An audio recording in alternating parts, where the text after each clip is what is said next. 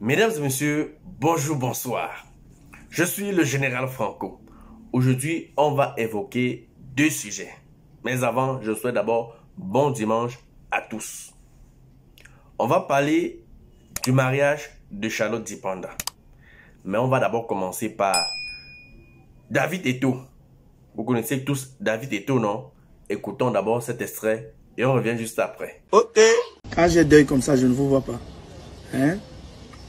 Pas d'assistance. Je ne vous vois pas. Voilà. Voilà la maison du deuil. La maison ouverte. On ne voit personne. On ne vous voit pas. Demain, c'est la grande veille. Hmm? On vous demande rien. Même l'assistance. Mais nous sommes toujours là pour soutenir les gens pendant les bons et les mauvais moments. Hmm? Voilà. Vous-même, vous savez déjà ce que ça veut dire, non? C'est souillant, hein? Vraiment, on est, ça, ça nous met notre cœur mal au cœur.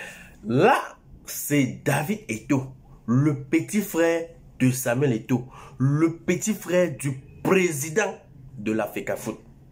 Mes condoléances en passant à David Eto et à Samuel Eto. Je rappelle ici que ils ont perdu leur papa. Il y a de cela quelques jours.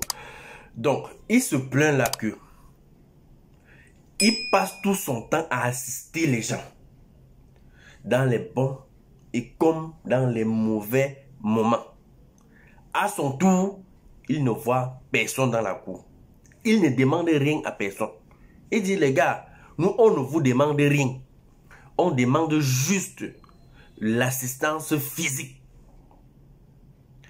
Vous savez pourquoi je vous présente cette vidéo? Mon père est décédé en examen. Quand je suis rentré de l'enterrement, quand je me plaignais de l'assistance comme ça, certains sont venus me dire, qui te connaît?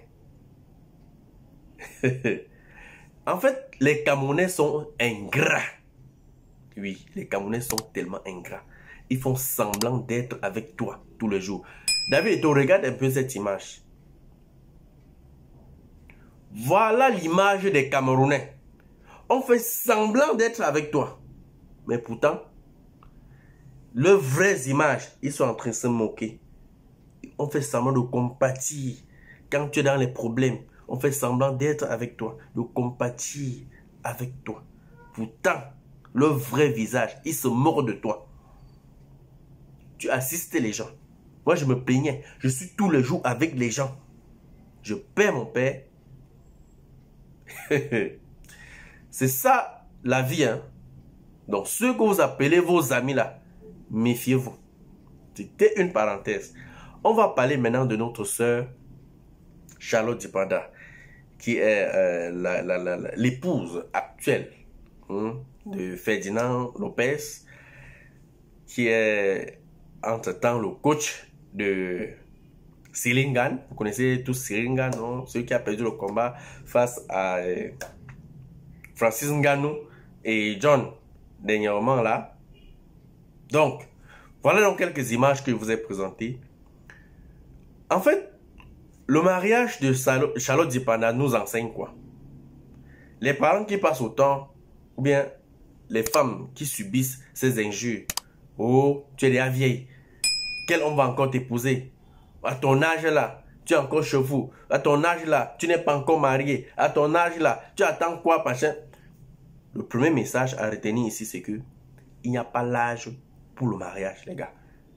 À n'importe quel moment, on peut être madame telle. Et ça, pas si vous comprenez un peu.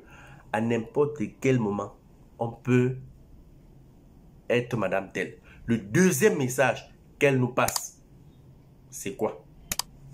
Elle apprend, elle parle aux, à, ces, à ces femmes qui, qui se disent femmes autonomes femme indépendante, que l'homme reste le capitaine. Que malgré tout, quand on ne t'appelle pas Madame X, tu perds la valeur. Charlotte Dipanda ne manquait plus rien. Elle ne manque de rien. Mais elle a accepté se soumettre. Elle a accepté être Madame X. Madame Ferdinand. Vous comprenez? Femme indépendante. Est-ce que vous comprenez ce message? L'homme reste le capitaine. Et ce que je voulais dire aux femmes, moi particulièrement, ne vous précipitez pas seulement pour le mariage. Faites vos études s'il y a possibilité. Et s'il n'y a pas possibilité, battez-vous à avoir ne serait-ce qu'un métier. Apprenez un métier. Cherchez à faire quelque chose. Parce que quand vous êtes marié, vous attendez tout de l'homme.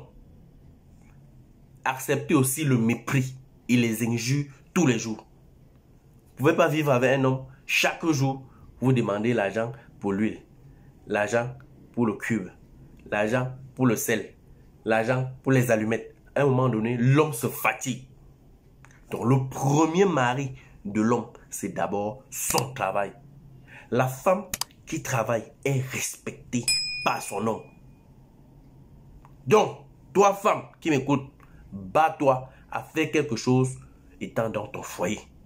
Même si ton mari est riche, ne te couche pas, tu dis que tu manges l'argent de ton mari.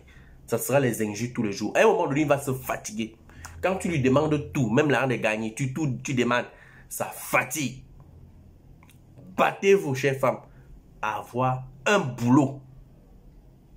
Avant ou après votre mariage. Si vous avez la chance d'avoir le boulot avant votre mariage, c'est bien.